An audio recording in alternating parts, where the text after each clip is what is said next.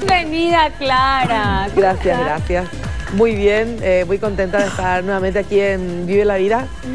Y ah, feliz ya porque pasó uno de los desafíos para mí más, Sí. más fuertes y más densos en, en cuanto al parodiando, porque este, bueno, este personaje que hice último de Adele Sí. es la primera vez que lo, que lo hago Ajá. oficialmente, porque siempre uno dice, ah, mira un poco este y ensaya Inten- cosas, ¿verdad? Como que intentas. ¿eh? Y como que intenta. Y, y bueno, y estaba con una laringitis aguda que la primera semana no me permitió, yo tendría que haber cantado. Eh, quiero agradecerle muchísimo de paso a Gustavo Cabaña que aquella vez que, que él cantó, Sí.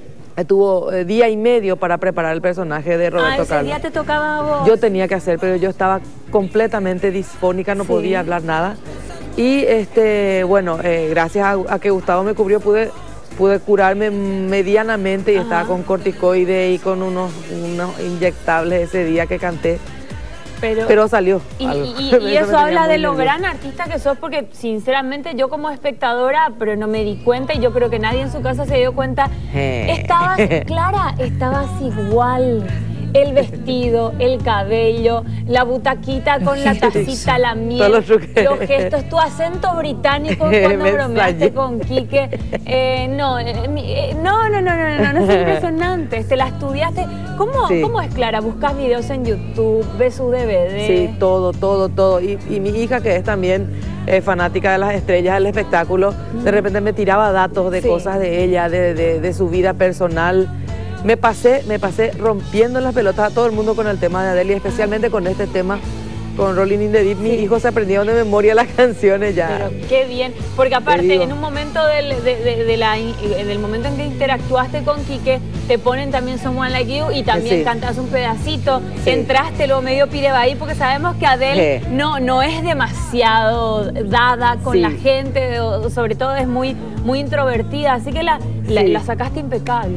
Ella cuando, eh, lo que me di cuenta en, en el análisis que le hice a la, a la artista, es que con todas las canciones que tiene, me aprendí las letras, también este, busqué traducir eh, las traducciones, Sí. saber un poco, entender lo que decían las canciones para poder interpretar de una mejor manera. Y bueno, es todo yetaku para los muñecos. Ahí está, Entonces sí. ahí dije, ah, bueno. Tuvo mucha mala entiendo. suerte en el amor. Y claro. parece que no les fue No les fue. Entonces de repente ella en su vida normal es muy, ¡ah! De repente es así y es yuruguazú. Entonces yo bajaba el micrófono y le decía barbaridades de aquí, Sí. que por eso que ponía esa cara de...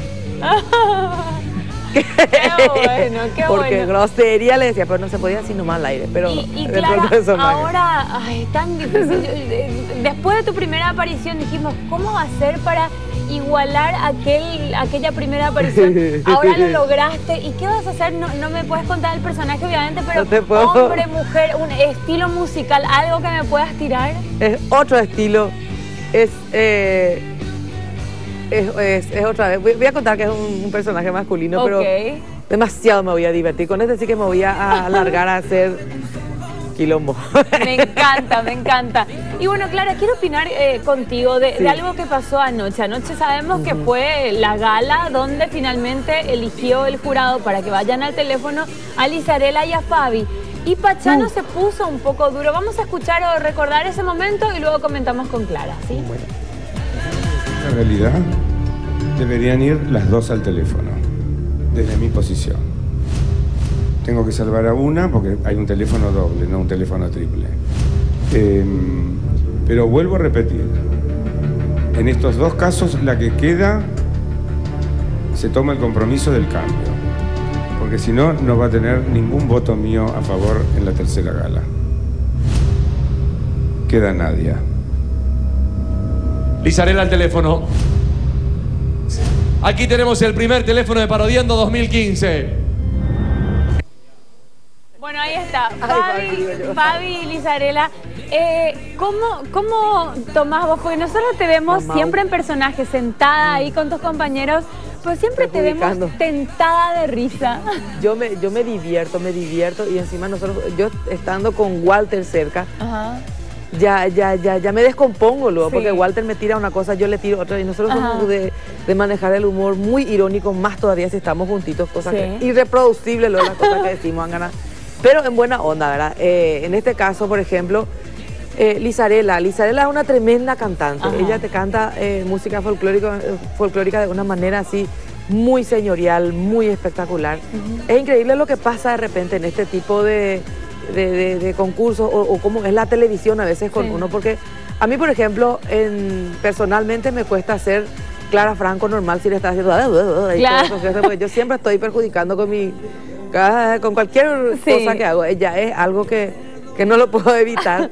y me siento mejor eh, con peluca o Claro, haciendo algún personaje algún o haciendo de hombre, así que lo, ahí ya me da la alegría de vivir. Ajá. Eh, pero en, en mi caso, ¿verdad? Ahora, en el caso de Lizarela, ella es una tremenda cantante, Sí. como te digo, te canta cosas maravillosas. Esta vez eh, algo pasó ahí, Mm. Como, como dijo, le dijo Leti, no, no, no se logró la magia o algo, pero este, Le, le no cuesta sé. meterse en personaje, En le cuesta...